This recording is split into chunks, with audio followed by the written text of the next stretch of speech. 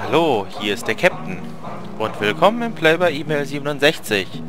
Ich spiele mit Deutschland. Wir sind in Runde 95, das ist die 14. Kriegsrunde. Und wie ihr von der Musik her schon hören könnt, sind wieder die Landsknechte am Marschieren. Denn das Landsknechte-Lied läuft im Hintergrund. Ich habe mich da extra ein bisschen äh, umgehört, wo es dann ein entsprechendes Lied zu den Landsknechten gibt. Und tatsächlich eine Reihe von netten Liedern dazu gefunden. Also genießt die Landsknechte. Gut, wir schauen ein bisschen auf unsere Situation. Erstmal, es gab keine Ereignisse. Aber ein Ereignis will ich nicht verschweigen, denn was nicht angezeigt wurde, war, ich habe natürlich mehr Punkte bekommen, 25 Punkte mehr. Und deswegen habe ich die große Moschee von Jenne hier gebaut. Damit wird höchstwahrscheinlich dann, ähm, ja, hier Persepolis, der, der Perser, ein bisschen Geld bekommen. Äh, in der jetzigen Situation natürlich nicht so toll, aber er hat ja natürlich nichts mehr zum Upgraden, was ich irgendwie, äh, was er irgendwie upgraden kann. Dementsprechend ist das Geld für ihn praktisch nutzlos. Und ich kann dann demnächst meine günstigen 90 äh, Glauben-Missionare erstellen und damit die ganze Welt zuspammen. Um dann jede Menge Zufriedenheit erlangen. Und natürlich in der nächsten Runde, wenn ich dann wieder 90 Glauben habe, kann ich mir einen, äh, wie heißt das? Nicht einen Ketzerei entfernen, wie heißt dann nochmal, einen Inquisitor holen, mit dem ich dann diese lästige falsche Religion hier in Susa entferne. Wenn die dann entfernt ist, kommt dann natürlich meine Religion rein. Und äh, ja, das bringt mich gleich auf die erste, erste Aktion, die ich machen will, die Religion. Ich habe hier noch meinen Missionar, evangelisch-lutherisch. Und den wollen wir auch gleich hier in Jerewan einsetzen. Denn in Jerewan, zack, mal eben und dann ist er verbraucht. Dann kriege ich demnächst wieder ein bisschen mehr Geld.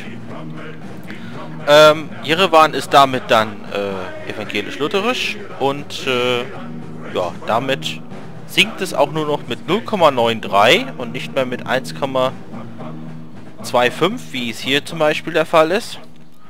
Und äh, dementsprechend äh, kriege ich auch noch mehr Zufriedenheit davon. Ja, 21 Zufriedenheit habe ich jetzt dann davon. Und äh, noch ein bisschen mehr Druck hier in der Gegend. Gut, was machen wir weiter? Ähm, wir haben hier noch einen Bautrupp. Diesen Bautrupp setze ich dann schon mal hier hin. Der soll dann hier dieses Wüstenfeld bearbeiten. Das soll er schon mal machen, so in Vorarbeit, weil ja, ähm, ich ziehe mal gerade, weil hier unten, wo dieser Schwerti steht, soll dann ja noch mal eine Stadt hinkommen. Ich bekomme ja in acht Runden oder vielmehr in neun Runden, weil das goldene Zeitalter der hier mit reinrechnet, in neun Runden bekomme ich wieder einen Siedler und der wird dann hier an diesem Berg gegründet und wenn er dann hier gleich ein richtig geiles Nahrungsfeld hat, dann steigt die Stadt ganz schnell richtig an. Gut, hier unten haben wir noch einen zweiten Bautrupp, den können wir auch gleich mal ziehen. Den ziehen wir bis hierhin. Der soll dann hier dieses Eisenfeld machen, damit das angeschlossen ist. Ja, unsere netten Bogenschützen, den wir aus dem Lager bekommen haben, ziehen wir mal hier auf das Feld, damit es ins Landesinnere gezogen wird. Diesen Schwertkämpfer hier ziehen wir auf den Bautrupp. Der kann dann nachher, wenn der Bautrupp hier bearbeitet, sich dort voll heilen. Der muss nicht sofort voll geheilt werden. Und den Schwerti, den ziehen wir mal gleich dorthin.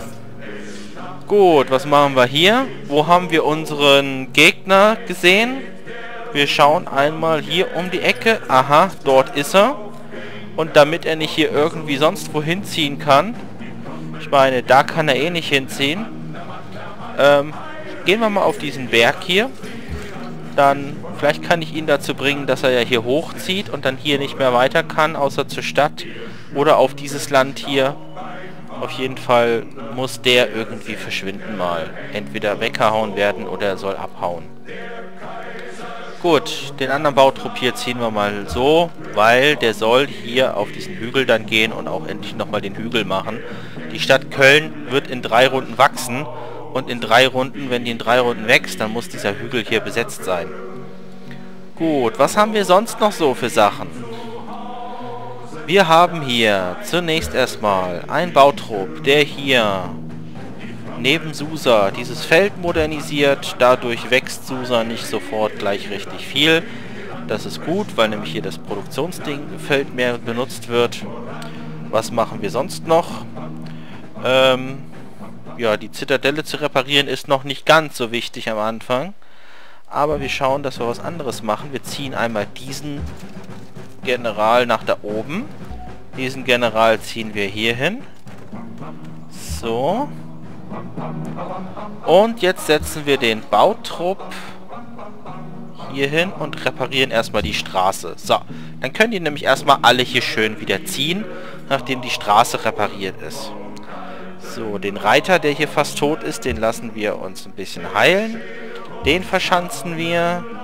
Ähm, können wir das machen? Wir können den dort drüben hinsetzen. Genau so wollte ich das machen. Der sollte sich da drüben hinsetzen. Und den verschanzen wir. Wir verschanzen letztendlich eine ganze Menge hier. So, diesen... Äh, nee, Moment. Bevor wir das machen, schauen wir erstmal mit dem Pferdchen hier unten. Wir schauen einmal vor und stellen fest, oh, der, der Russe hat Ekbatana schon halb runtergeschossen. Das heißt, nächste Runde wird das vielleicht einnehmen.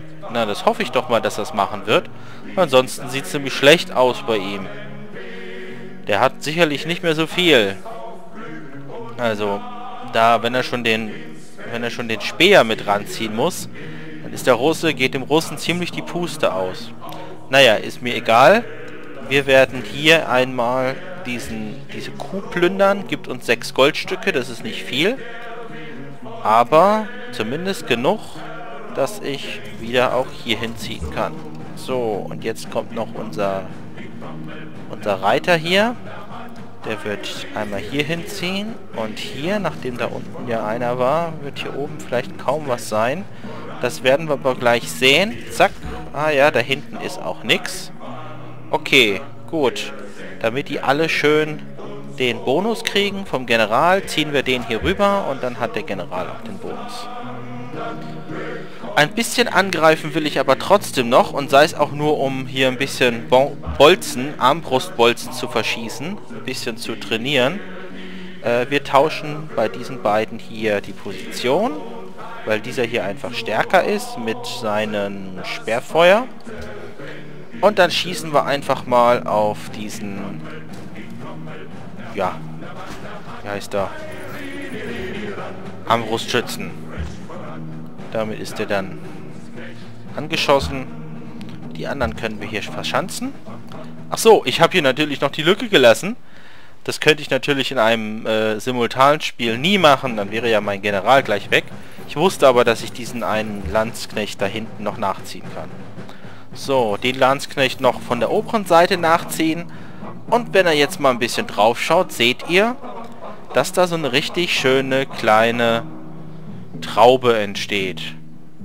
Also, wir greifen dann über diese Seite an und wir greifen über die Südseite an und gleichzeitig greifen wir natürlich dann demnächst auch an dieser Seite an. Wenn er also nicht irgendwie mal langsam anfängt, nochmal dagegen zu hauen, äh, werde ich irgendwann einfach alle Einheiten draufziehen, dann werde ich ihn wieder einkreisen und dann können wieder keine Einheiten produziert werden und äh, werden eine, mit Einheit nach der nächsten weggeschossen. Ganz einfach. Okay, den wollen wir auch noch mal ein bisschen verstauen. Okay. So, wir haben aber noch ein paar andere Sachen gemacht. Lissabon zum Beispiel kann ich erpressen. Da ich hier nur Freund bin und das eh nicht mehr lange andauert und ich einen großen Propheten garantiert nie wieder bauen will, werde ich hier einfach mal erpressen, dann geht das Quest weg und ich kriege 185 Gold. Gar nicht schlecht, weil demnächst läuft mein GA aus. Und ich, äh, ja, und ich habe wahrscheinlich kaum die Möglichkeit, noch großartig Geld zu machen. Deswegen machen wir das einfach mal. Gucken wir mal, was sonst so passiert. Aha. Gut, dass ich Kuala Lumpur gekauft habe. Denn dieser Pikenier hat jetzt hier übergesetzt schon auf diese Seite und hat wohl im Visier hier diese Stadt vom Derboe. Da wird er ein bisschen nebenpieksen. Der Computer ist zwar blöd, aber so ein bisschen stören tut er immer noch ganz gerne. So, ich glaube, das war's dann auch schon alles. So, was ich machen kann. Ja. Wir haben hier natürlich unsere Galeasse. Hier bauen wir auch eine Galeasse nächste Runde. Dann haben wir noch natürlich hier so ein paar Sachen. Achso, wir können noch ein paar Sachen einstellen auf Produktionsfokus. Ja. Äh, Produktionsfokus, Produktionsfokus, Produktionsfokus. Soll ja schließlich Produktion geben, wenn er was Neues macht. Und an dieser Stelle muss ich noch sicherstellen, dass nächste Runde er auch dieses Feld hier nehmen kann. Zwei Nahrung, zwei Geld, zwei Produktion. Damit sollte er dann nächste Runde auch zufrieden sein. Jo, was passiert sonst noch so? Kann ich hier bei Genf schon mal was machen? Tribut fordern? Nein, das geht nicht. Da ist noch zu wenig. Antwerpen gehört mir auch. So ein bisschen jedenfalls noch. Dauert nicht mehr lang, dann gehört es mir nicht mehr.